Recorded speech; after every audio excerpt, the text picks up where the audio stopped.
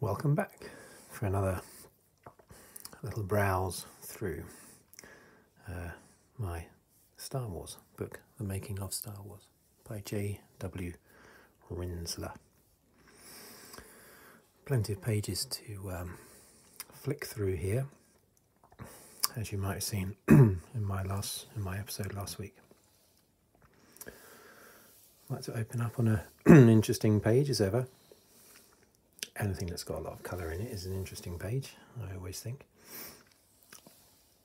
Of course, the the original duel between um, Darth Vader and Obi Wan Kenobi was a bit flat compared to what we had in the uh, prequels. That was quite um, quite special. The lightsaber duels in the prequels, but uh, you know they were what they were for the time. It was incredible how they managed to do the special effects on the lightsaber. I forget the details of that now, um, having read it in this book, but um, I've forgotten it now, unfortunately. I don't really want to um, come out with any facts that are inaccurate. And um, I did actually give a slightly inaccurate fact uh, in my last video, and that was um, R2D2's, the origin of his name. Uh, it wasn't real to disk 2, it was, of course, real to dialogue 2. Uh, the basic story is still the same and amazing. Um, just a slight little change there. Look at this, I absolutely love any picture that's got stormtroopers in it. If, any, if ever anybody asks me what my favourite Star Wars character is, I always say uh, stormtroopers. Not really a character as such, but uh, I won't say anything else because I just think they're they're great. They might be inept uh, in what they do, but um, especially shooting. But uh, I, they just look fantastic when they're all lined up. I think it was a bit odd that George Lucas decided to call them stormtroopers when only 30 years beforehand there had been you know, Nazi stormtroopers. So it was a bit odd that he chose that word, but he went with it and it's, it's worked.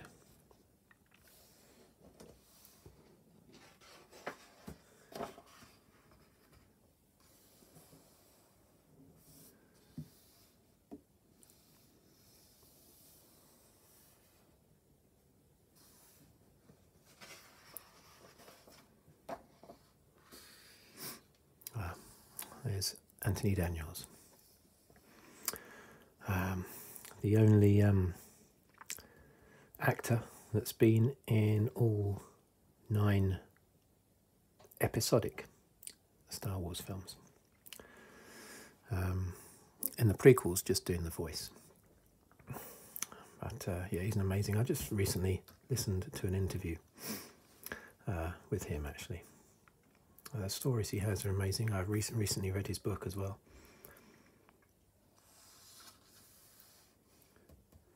He's a great guy.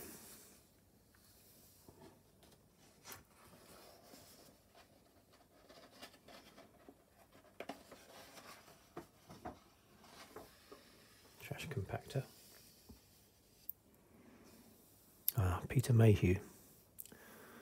Recent, relatively recently passed actually about two years ago, I think. Peter Mayhew was Chewbacca. He was a, I think he was a hospital porter before he was in Star Wars.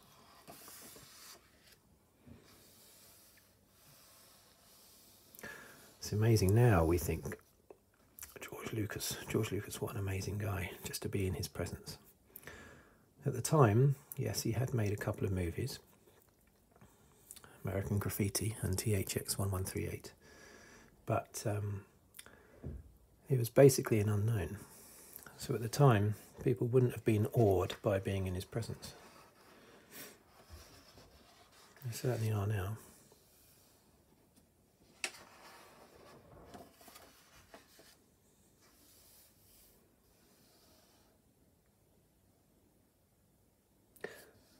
Didn't notice this picture before, but I guess these are the actual performers that were in the stormtrooper costumes in that particular scene.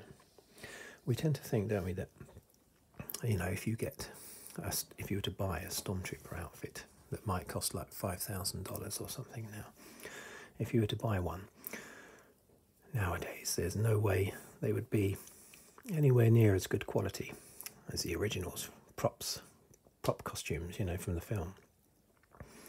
But in actual fact, they're probably a lot better because as you can see, these are all a little bit skew with, a little bit patchy, not tremendously great. Bits would fall off costumes, and they would have, as the filming went on, they would have less and less costumes to um, to use. Great picture. It's iconic image. By the way, the reason why Darth Vader and the Stormtroopers, the reason why it was originally uh, decided for them to have helmets was because they were not supposed to come through an airlock. They were, in fact, supposed to sort of drift through space or, or fire jetpacks or something like that to go from the um, Star Destroyer to the blockade runner at the beginning of Star Wars, and so therefore they needed helmets to protect themselves from space. That's the only reason why they were designed with helmets. But then they decided to have them enter through an airlock. You know, more sensible, less ridiculous. Uh, but they kept the helmets, which looks really good, of course. Early concept design by Ralph McQuarrie.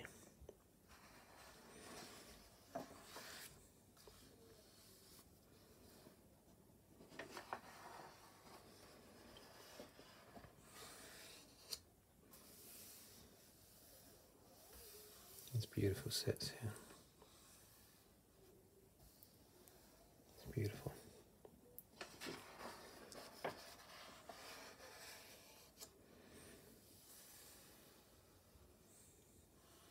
Explosions in space, yeah.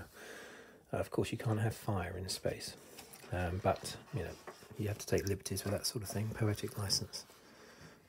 Otherwise, you get bogged down in, in the reality of what you're doing when what you're trying to do is not reality. Early TIE fighter concept design there as well.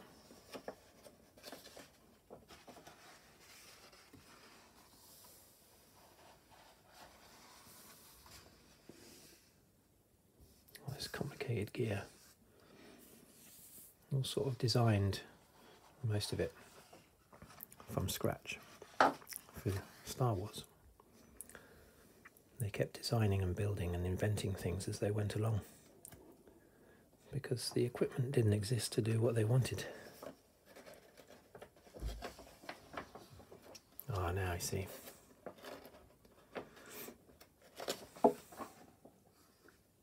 See, that here's an example what I meant earlier, all just sitting around. There's George Lucas. Nowadays, if you were in a room with George Lucas like that, you'd be, you'd be taking photos of him, trying to get selfies with him. Back then, in a way, he was just one of the guys, although the most important one. And here is the blockade runner. It's a very interesting story with um, how the blockade runner got its cockpit and how the Millennium Falcon ended up the shape it was. Um, originally, the Millennium Falcon was going to be a long, you know, tube-like rectangular uh, shape. Um, but Space 1999 was being created, the TV series, at the same time. And their main ships the eagles were the same shape. So and Space 1999, Space 1999 was going to get released first. So George Lucas said, just make the Millennium Falcon any other shape other than other than that. Just go completely the other way, like a big circle or something. So that's exactly what they did. They designed, they redesigned the Millennium Falcon and made it a big disc. Problem is, um, they uh, didn't have a cockpit, so they thought, well, you know, they didn't have time to build a cockpit. This was late in production, just before filming scenes, uh, and so they just nicked the cockpit off the Tantive 4, off the blockade runner that they had already built, and stuck it on the side of the Millennium Falcon and that's why the Millennium Falcon has a, a somewhat oversized cockpit stuck on the side of it. Of course, then they didn't have a cockpit for the blockade runner, Tantive 4. So what they did, because they were in a rush, and this is amazing, and you can see pictures of it here, the blockade runner, they just looked around them on the desks and they saw two coffee cups so they picked up two coffee cups and they stuck them together like that. And then um, stuck them on the end of the Tantive 4 blockade runner. And that became,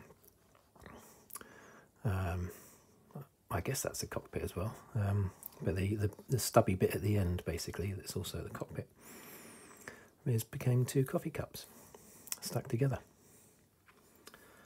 It's just amazing, isn't it? Um, anyway, it's an incredible story.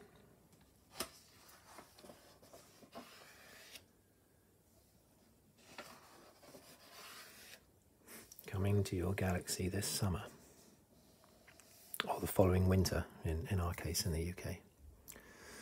Right, I think I might end uh, this video at this point. Thank you very much.